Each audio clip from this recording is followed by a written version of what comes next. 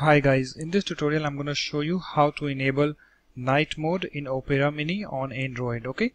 So first of all you need to update your Opera Mini browser. So for that you need to open your Play Store and just do a search for Opera Mini.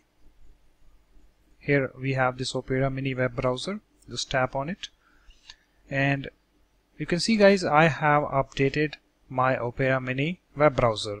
That's why I'm not seeing the update button if you see you know update button over here you just need to tap on the update button and update your Opera Mini web browser okay? And after that you just need to tap on this open button okay? And after that you need to tap on this uh, Opera uh, this icon at the bottom right. And just tap on this uh, gear icon this settings. And after that guys you need to uh, find this night mode. So here we have the night mode. So uh, just tap on this. And here we have the pop-up permission needed. To enable night mode please allow drawing permission on the following screen. So just tap on this OK link. And here we have the permit drawing over other apps. Just tap on this toggle to enable it. So it's now enabled. And you can go back and you can see guys we now have the night mode.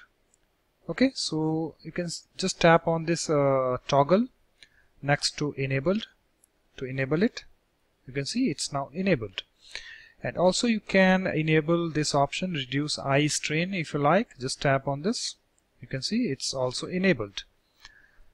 And here we have this slider. You can just adjust it. So just tap and hold and move the slider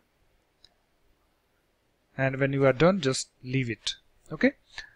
So guys uh, and also let me disable this. Reduce eye strain. Because I don't uh, want at this time. Okay?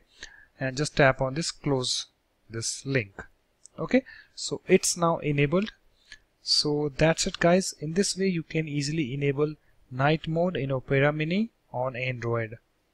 So if you like my videos please support this channel by subscribing to it Thanks. Bye bye.